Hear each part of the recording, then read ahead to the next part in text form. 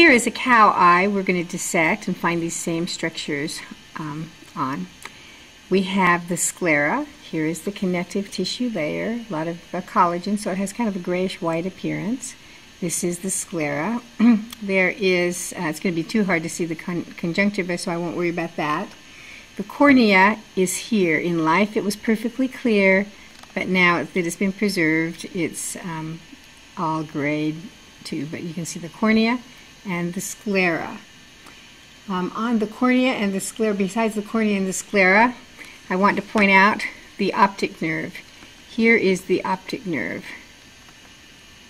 You can see that that tissue is different than all this muscle and fat around the outside. That's the optic nerve. And if I push on it, I can feel it. It's very rigid. It feels like a nerve right there. All right, now I've opened the cow eye, and the first thing we can see, although not much in this particular one, is this gel-like matter right here.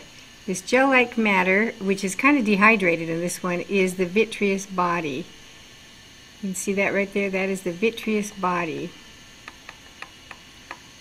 Just gel-like matter. Here is the lens. Let me pull the lens out. Kind of uh, in, in, covered with uh, some other structures, but here is the lens right here. And of course, in life, that was completely transparent. Let me get that back. That's the lens right there. Now if I slide this vitreous body out of the back of the eyeball, you will see, you can actually see the retina. The retina is this very delicate yellow layer right there that I'm lifting up. That is the retina. That is uh, nervous tissue. That's why it kind of appears yellow and also why it just kind of tears as I try to lift it up. That is the retina, where the rods and the cones are found. And that's what gives us vision.